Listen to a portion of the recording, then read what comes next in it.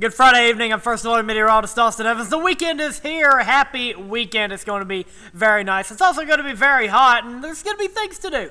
I hope you're able to get out and enjoy this fine weekend we have in front of us. Heading out the door tomorrow, we're going to be seeing temperatures in the mid to upper 70s, uh, the low 80s probably in Shreveport. It's the same stuff tomorrow. Sunglasses, water, sunscreen, the KSLA First Alert weather app, so you can have updates on the go. Uh, but it is going to be a hot one tomorrow for the Red River balloon rally, the second day of, and you can see here heat advisory in place uh, across the entire Arklatex until 7 o'clock tomorrow morning. I expect this to get extended, um, but uh, we'll let you know if that does end up happening. Here's temperatures across the Arklatex. We're still in the 90s in Shreveport, Hemphill Center, Nacogdoches, Longview, Texas, and Florien, Louisiana. 89 degrees in Mansfield, and you can see up north of I-30 Again, DeQueen, Idabel, a bit cooler along with Texarkana. They have been all afternoon. Still feels like 105 in Shreveport, 100 in Mansfield, as well as Hemphill and Florien, 102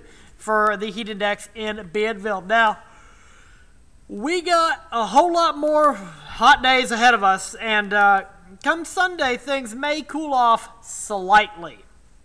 Still going to feel like the triple digits, but uh, it is going to be a very hot stretch. And going into the week, our humidity is actually going to take a bit of a dive, but our measured temperatures are expected to rise. So we're not going to get a break from the heat. We're still going to be seeing triple digits in terms of feels like temperatures throughout most of this entire upcoming work week. And taking a look at rain chances, things stay slim to none. And in fact, Sunday, it's even lower than 30 for the most part.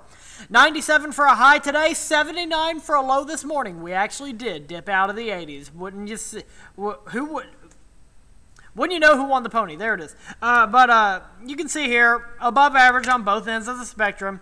And there's our Mattress Plus Castle tower camera overlooking downtown Shreveport. A bit of cloud cover over downtown right now. Looking ahead to tomorrow evening, cool clothing. That's the big deal and you're going to want to drink a lot of water, wear sunscreen, take breaks inside tomorrow at Louisiana Downs. It's going to be hot, and that's going to be the case through pretty much the entire event, even going into the later evening hours. Live First Alert Doppler radar's got a shower moving through McCurtain County right now. Future Track is not picking up on those on that shower right now, but you can see here Going into the overnight hours, we are going to see uh, the possibility of some showers just kind of working their way through, swinging through overnight. By 8 o'clock, it'll be pretty much gone. Sunshine going into the noon hour and throughout the entire afternoon. And if you're heading out to the Red River Balloon Rally, this is what you can expect for sky conditions sunny skies and then clear skies going into the evening. Looking ahead to your Sunday, there is a slight chance for some showers and storms, mainly scattered, and you can see a smattering of storms here and there throughout the afternoon.